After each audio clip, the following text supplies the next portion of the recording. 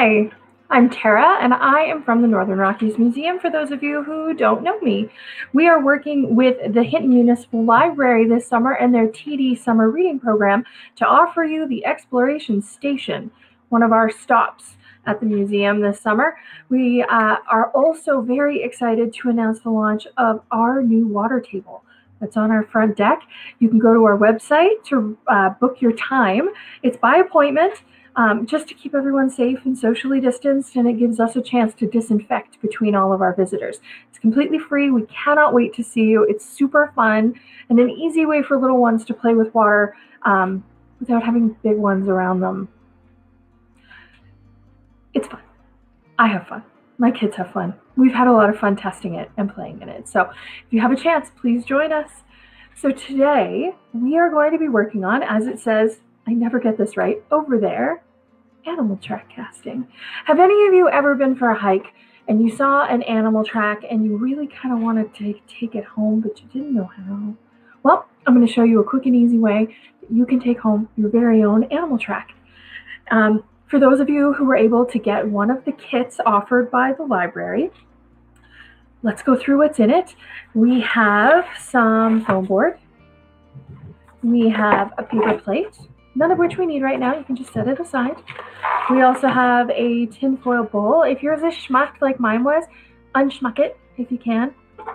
We also have a bag of kinetic sand for the groans that I just heard from the adults who are watching me because it's kinetic sand and it's in your house. Sorry. It really is the best thing. It's like muddy dirt. Um, the kids promise that they will not spill it on your carpet or in the cracks of your hardwood. A vacuum doesn't, it gets most of it. As I've learned, because we've been practicing with this at my house for a few weeks now, and um, yeah, it takes a few passes, but it does come out, so sorry. And then we have a bag of plaster of Paris, and then we have a glue stick, and some fun post-it notes from our friends at Best, and then a bunch of papers. Don't worry, it's not homework. It's okay. We're just going to quickly show you what we got. The library has given us their August calendar, and they got a lot of fun stuff going on. You should definitely take a chance at looking at that. And then they also gave us all the activities for the summer reading club. I am only one of the activities. I'm only one of the uh, the videos and the online fun that the that the library is doing. They're also doing charming chapters, and virtual drumming. And did you know they have prizes? They do prizes every week. Everyone who is watching this video, private message me or put your name and how old you are and a number that we can contact you at to tell you you won. Um, underneath, better to private message me. I give it to the library and then they draw your name and every Monday they say who won. And they're just little prizes, but then they have grand prizes. And the grand prizes, I have to read them because I want to make sure I get this right. So for the preschool age, so zero to five, the grand prize winner gets a Little Tikes two in one play food truck. Okay, I gotta show you this thing. Look at this thing.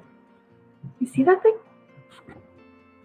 I don't count as preschool, but darn it, I want to. And then the kids' grand prize, which is for ages 6 to 17, it's a Nintendo Switch Lite. Yeah, that's what I said. A Nintendo Switch Lite. What? And then the adult grand prize because parents if you're watching this with your kids you count. So you i don't need to know how old you are. It's okay. But i do need your name and your ad and your uh, contact number. And you could win a kent olympia, olympia 9000 butanes per hour portable camp stove and utensils. I'm going to show you this one too. Look at that thing. I love camp stoves. I'll take a new camp stove. Of course i'm not eligible but you are. So make sure I get your name and uh, just private message the museum. I'll make sure that the library gets your stuff and uh, you can be in for the weekly draws. And every time your name is put in for a weekly draw, you're into the grand prize draw. So definitely worth it. So let's get a whole bunch of names in there and uh, win somebody that Nintendo Switch Lite or the Play Food Truck. I like it. I'm jealous. Fun. So our friends at Best, who are also helping to host uh, the virtual drumming, and uh, I know that they were making um, calm down jars. I love making calm down jars, they're so fun. Um, they've also given us this absolutely gorgeous printout. And we're just going to quickly take a look at this. So what Leanne has given us is that when you're out looking for tracks or you're trying to track an animal, I hunt, so I, I do this. It's about being present in the moment.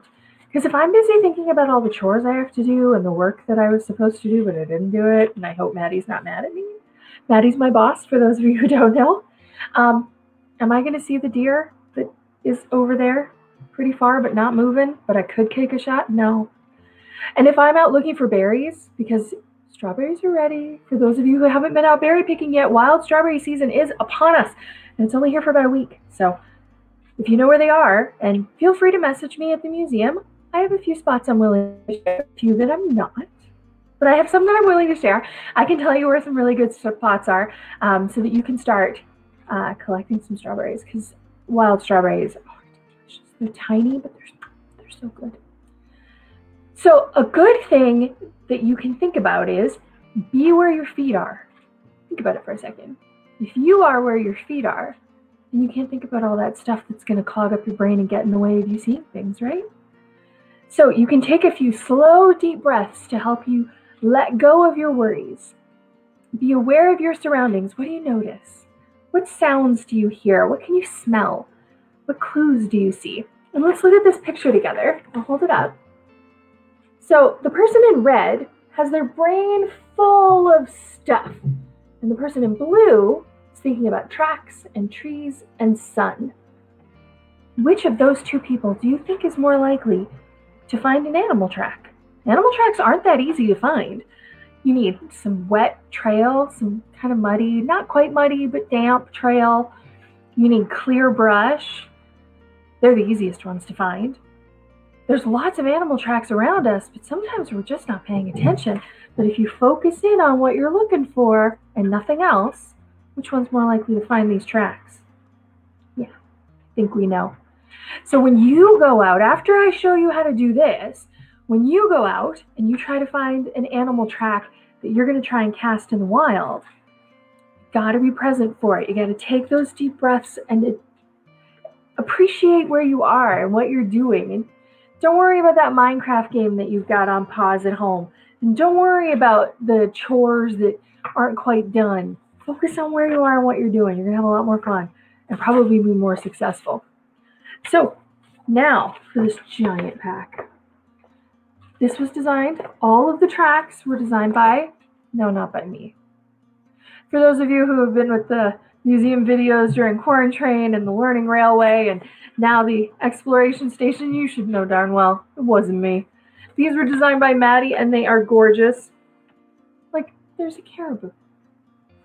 She drew all these. I know. That's a moose. So some of these tracks have many, many, many layers. Some of them have three, some of them have two. We've given you enough foam board to do one track. You can pick any one you want, but I am going to be doing the cougar track. Some of them are quite the challenge, like the Raven Challenge. If you're up for it, Giver, I would love to see it. But together, we are going to be working on the cougar paws.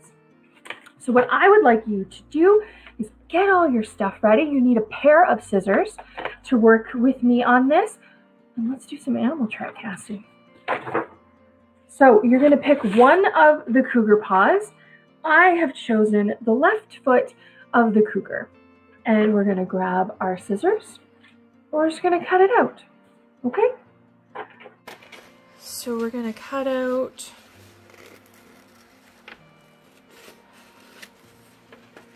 Well, I also forgot, you're going to need a pen so that you can trace out the paws.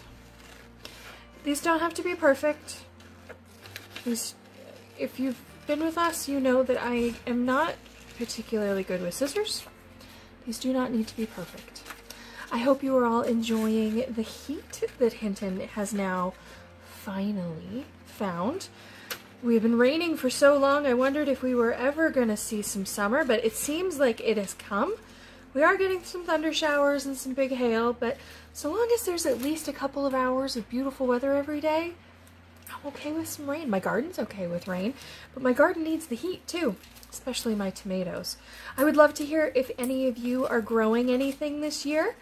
We are growing chamomile and spinach. I love growing chamomile, it's my favorite. But we're growing chamomile and spinach and um, what else are we growing? Tomatoes and cucumbers. But we wanted to challenge ourselves this year, so we're growing cucamelons. They look like tiny watermelons, but they're cucumbers. I know. They look weird, but I bet they're delicious, and we're all going to enjoy them thoroughly. Because who wouldn't enjoy a fresh cucumber no matter what it looks like?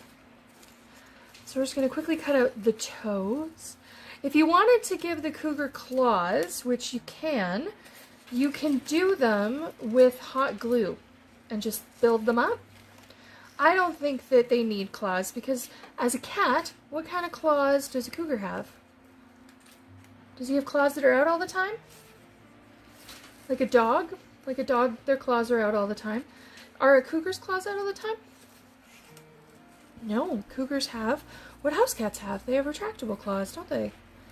Yeah, they're only out when they want them. Otherwise, they don't have them out. So I don't think we need them. But that's just me. If you want your cougar to have claws, okay. So next we are going to pull out our foam board. Okay, and your pen. And we are going to trace out our cougar paw. So just give it a trace so you know where you're going to cut. The foam board is a little bit troublesome to cut. So I have scissors. You can use an X-Acto knife, but if you don't want to get help from a parent, then just take your time and use your scissors. And this isn't great, I know, but it's okay. The imprint's there, it's good enough. And then you're also gonna trace the inner pieces of the foot because we want it to be three-dimensional so that we can build up to make our very own imprint. So if you push hard enough, it doesn't really matter if your pen works or not. Apparently this pen is in a mood. I'm curious what you guys have planned for your weekend. Do we have anything fun going on? Has anybody been on some Alberta staycations. I know my family and I were talking about uh, Drumheller going to see the dinosaurs because, I mean, really, who doesn't love dinosaurs? And maybe up to Wembley to that dinosaur museum because we've been there a few times. We love it up there. And we've done fishing in the Grande Cache Lake. Successful fishing, mind you. And we've done camping in the backyard. We had our tent in the backyard. We hung up a sheet and we turned on our projector and we watched like a drive-in movie in our backyard. It was fun. So now we are going to grab our scissors now that we have our traced out cougar paws. And we are going to cut. And as I said, this requires patience. Don't worry if you're having trouble, just ask ask an adult for help. That's what they're here for. I am not going to make you guys watch me while I cut this. I'm going to cut out some of it here.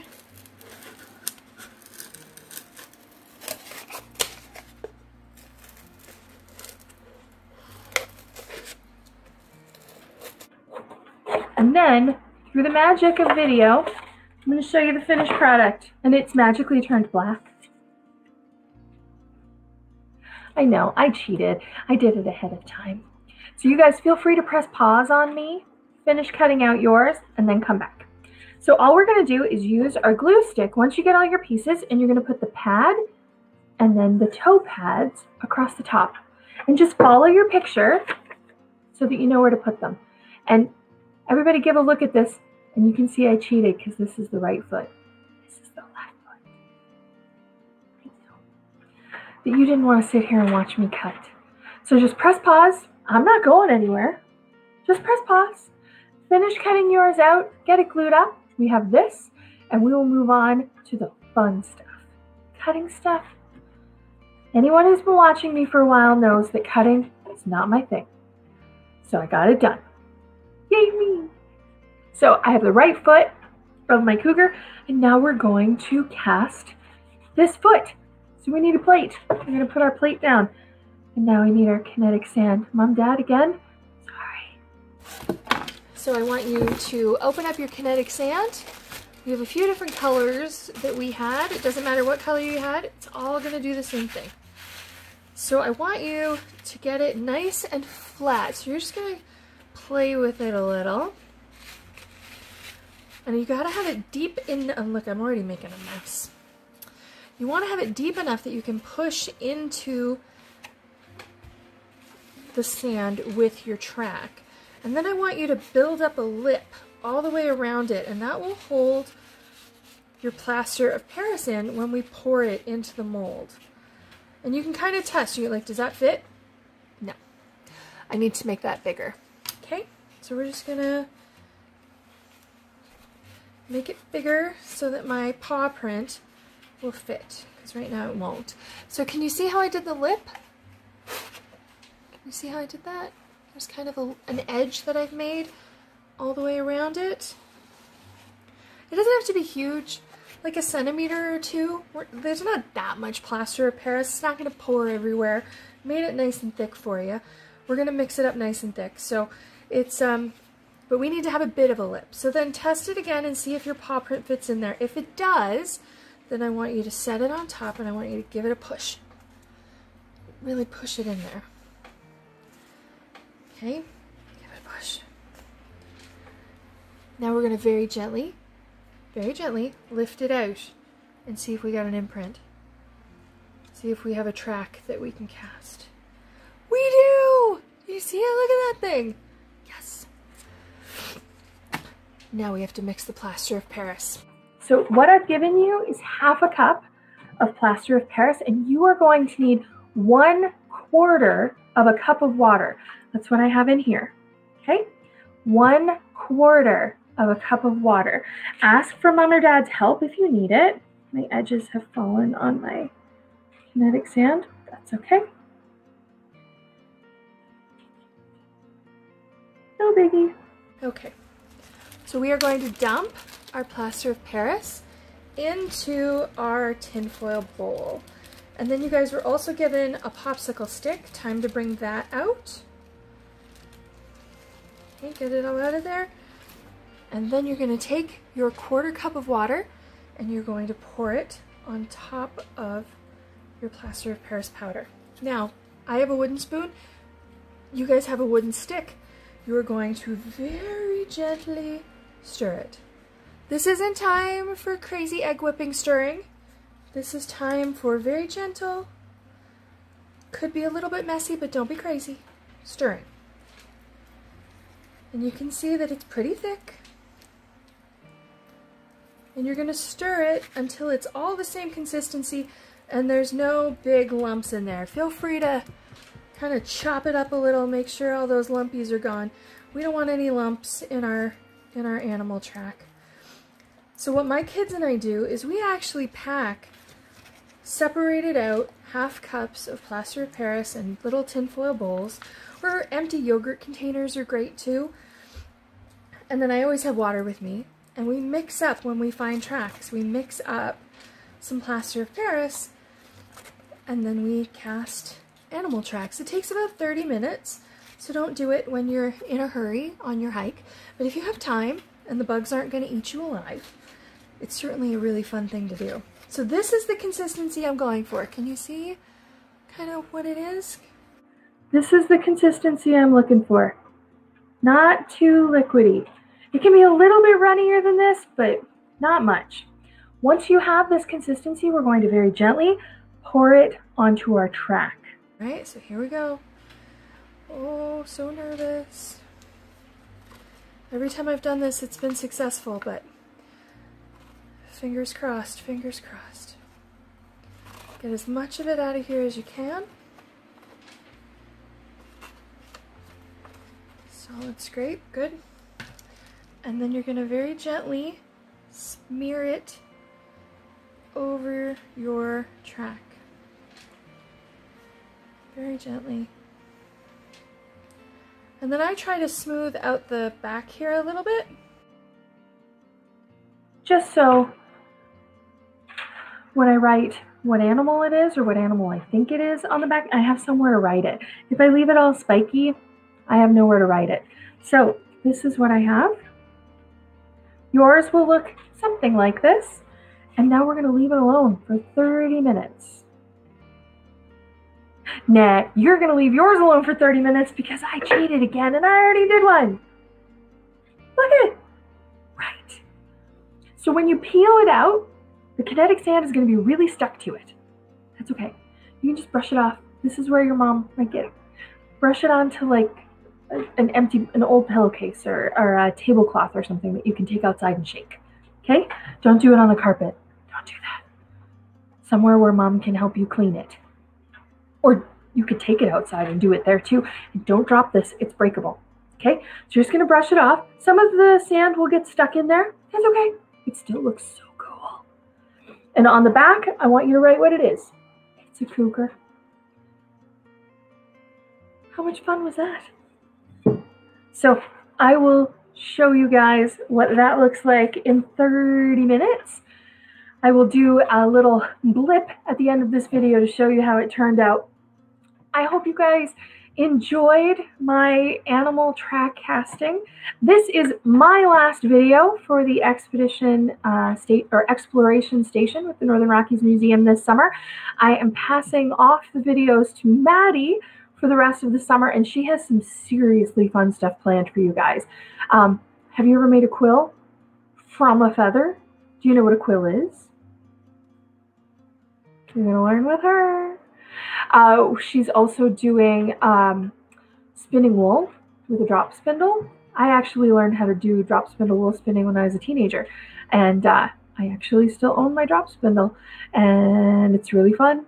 So Maddie is going to teach you how to make your own drop spindle, and then you can spin your own wool. And did you know that you can spin wool from cats and dogs if they have long enough fur? Did you know that? Yeah, it's hard, but you can, which I think is amazing.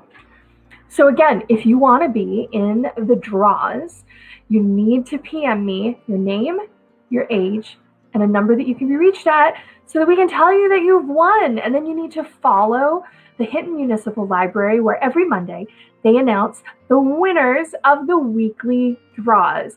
I think the grand prize draw is middle of August, and I showed you what the prizes are. People, get your names in. Parents, guardians, adults, if you're watching, get your name in. I don't need to know your age, it's okay.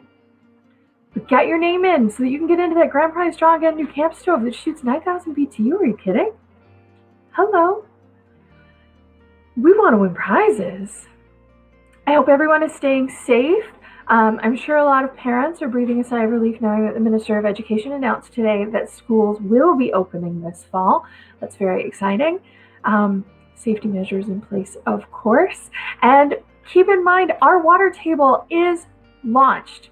She's running, there's water pouring, we got tons of toys. Everything gets disinfected and cleaned after every single family that comes to see it. And um, head over to our website at northernrockiesmuseum.com to find out more fun things that we are up to. We also have our new book. For those of you who haven't heard of it, it's called A Snowflake's Journey, and it's the story of a snowflake named Journey who travels from the Athabasca Glacier down the river all the way to Brule Lake. And stuff happens to him on the way, and he has adventures. He meets the elk on a shelf. And if you didn't know about our Elk on the Shelf book, we've got that one available too. He is an elk who wakes up in his field and it's covered in litter and he's very sad. And he decides he's going to become an elk on the shelf so that he can remind children and watch over them um, to help them recycle. I hope you enjoyed my three contributions to the exploration station, and I cannot wait to see what Maddie has in store for you. It all looks really, really fun. Don't forget to register for the packages from the library. They are completely free. You just need to give us your names so that we can get them prepared for you. They are available for pickup at the museum the Tuesday before the video on Wednesday at 10 o'clock. So again, send us your names and your ages and phone numbers so that we can enter you in the draw and we will see you next week.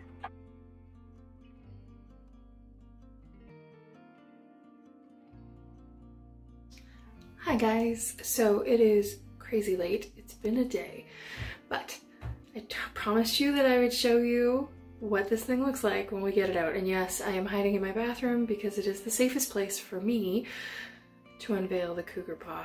Plus, fun fact, I actually record a lot of audio in my bathroom because it has pretty good acoustics. Plus there's no sound bounce. I know, weird things.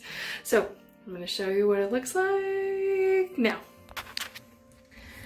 Alrighty, fingers crossed. So when we lift it out, I told you it would be stuck. Don't worry. You just give it a quick little brush here.